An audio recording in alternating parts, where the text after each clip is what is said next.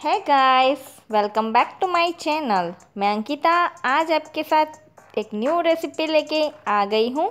आज हम बनाएँगे तीन स्टाइल में चटनी, जो चटनी हमारी बॉडी के लिए और हमारी हेल्थ के लिए बहुत ही फ़ायदेमंद है और बहुत ही गुणकारी है। सब्सक्राइब करें मेरी चैनल को और नोटिफिकेशन के लिए बाजू के बेल आइकन को प्रेस करना बिल्कुल ना भूलें। लहसुन की चटनी बनाने के लिए मैंने यहाँ से चार से पाँच रेड मिर्ची को गर्म पानी में भिगो के रखा है। उसमें मैंने वन टेबल स्पून ऑयल डाल दिया है। इससे ये सॉफ्ट हो गई है। आप देख सकते हो, ये मैंने 12 से 13 लहसुन की कली एंड नमक लिया है और इसी पानी का हम यूज़ करेंगे ये चटनी बनाने में। लहसुन को डाल देंगे हाफ़ टेबल स्पून नमक डाल देंगे एंड ये मिर्ची जो हमने भिगो के रखी थी। इसे भी ऐड कर लेंगे। पहले हमें इसमें पानी ऐड नहीं करना है। ऐसे ही मिक्सी में एक बार चला लेंगे। उसके बाद हमने जो ये पानी, गर्म पानी बना के रखा था, जिसे हमें मिर्ची को भिगो के रखा था, इसके लिए इसका फ्लेवर मिर्ची का जो फ्लेवर है, वो पानी में आ गया है। तो वो पानी हम इस चटनी बनाने को यूज़ करेंगे। ये चटनी डोसे के साथ या फिर दाबेली के साथ बहुत अच्छे से जाती है। दाबेली के अंदर ये वाली चटनी डालोगे तो बेल इसका टेस्ट बिल्कुल मार्केट जैसा होगा। इस तरह से हम इसे पीस लेंगे, उसके बाद हमने जो पानी लिया है, उसे हम फोर से फाइव टेबल स्पून जितना पानी इसमें ऐड कर लेंगे और उसके बाद फिर से हम मिक्सी को चला लेंगे और अच्छी सी पेस्ट बारीक पेस्ट बना लेंगे।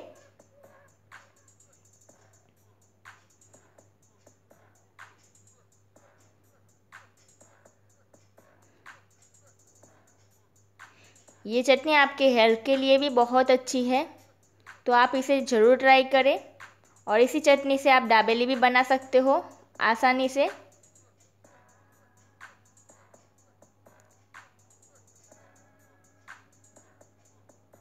तो रेडी है हमारी आज की स्पेशल लहसुन की चटनी, जिसे हम एक बाउल में अच्छे से निकाल लेंगे। पहले उसके ढक्कन में जो जो हमारी चटनी चली गई है, उसे इस तरह से कवर करके निकाल लेंगे।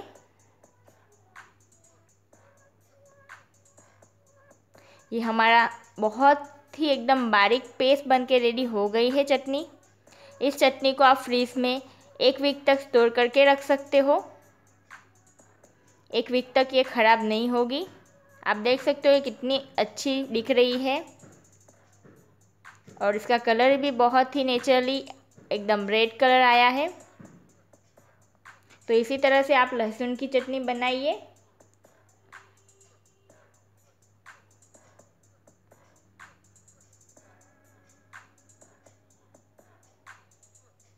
बहुत ही अच्छी चटनी बन के रेडी हुई है फ्रेंड्स। अभी हम दूसरी चटनी बनाएँगे, जो है कोरिएंडर चटनी। इसके लिए मैंने कोरिएंडर लिया है। वन कप जितना। यहाँ पे मैंने करी लीव्स लिया है दो।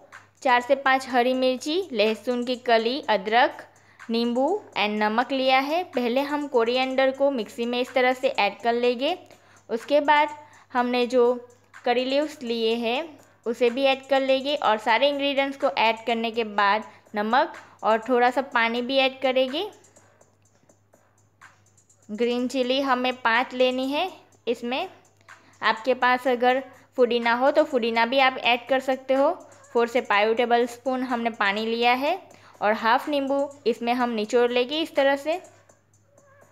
उसके बाद इसकी हम बारीक पेस्ट बना लेंगे।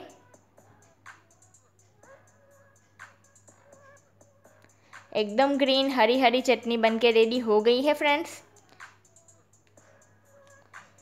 कोरिएंडर की चटनी को आप चाट बनाने टाइम यूज़ कर सकते हो।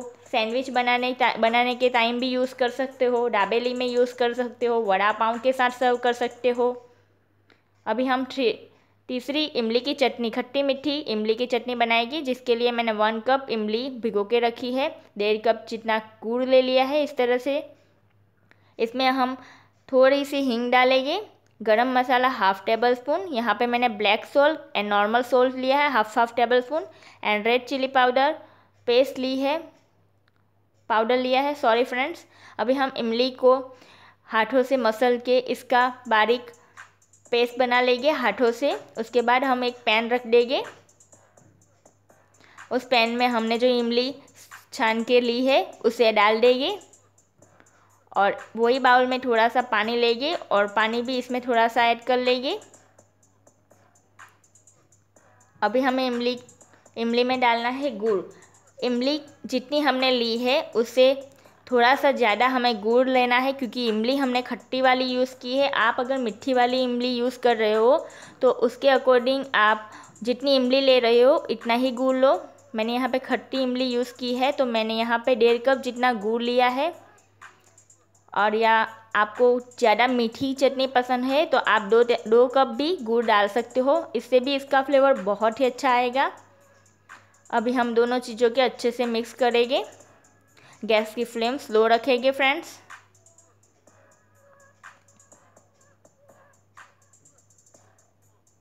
और इसे इस तरह से लगातार चलाते जाएँगे जिससे कि नीचे से चिपक ना जाए या फिर जल ना जाए।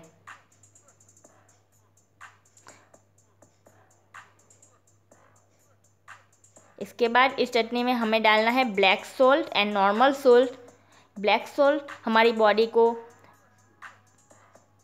एसिडिटी से बचाता है और हमारा जो पाचन क्रिया है, उसे भी इम्प्रूव करता है। तो ब्लैक सोल्ट बहुत ही फ़ायदेमंद है। उसके बाद एक उबाल आने के बाद इसमें हमें गरम मसाला एंड जो हमने रेड मिर्ची का पाउडर लिया है, उसे ऐड करना है। रेड मिर्ची पाउडर मैंने वन टेबल स्पून जितना लिया है।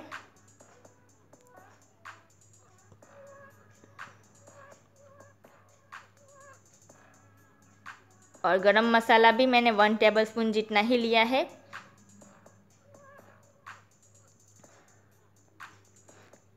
अभी हींग जो हमने ली है, वो वन फोर टेबल स्पून लेना है। थोड़ी सी मतलब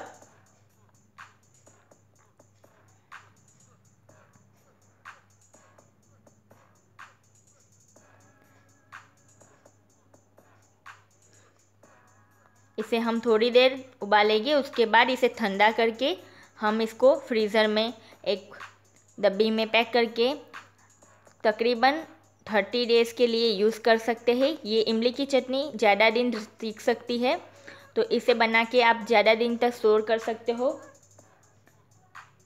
फ्रेंड्स, इमली की चटनी ढोकला के साथ सर्व की जा सकती है। दाबेली बनाते टाइम दाबेली का जो हम बैटर बनाते हैं स्टफिंग उसमें भी डाल के हम इसे खट्टा मीठा टेस्ट दे सकते हैं। वड़ा पाव के साथ भी ये अच्छे से जाती है।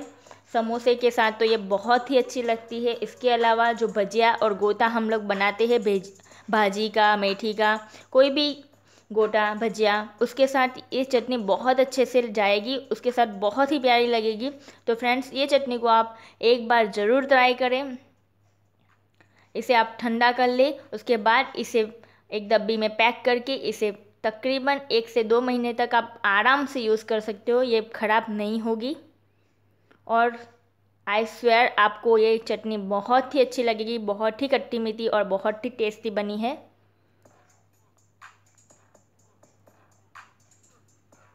अभी हम गैस की फ्लेम ऑफ़ कर देंगे और इसे ठंडा होने के बाद इस तरह से एक डब्बी में सॉस की डब्बी आती है, उसमें मैंने इसे भर लिया है और जब भी हमें इसकी ज़रूरत हो तो उसको सर्व करने के लिए इसे इस तरह से एक बार हलाए और फिर उसको सर्व करें। और मज़ेदार इमली की खट्टी मीठी चटनी का आनंद ले। ये बहुत ही टेस्टी, बहुत ही गाढ़ी और बहुत ही यूनिक लगती है और सभी चीज़ों के साथ ये बहुत ही प्यारी लगेगी। तो आप भी इसी तरह से ये चटनी ट्राई करें।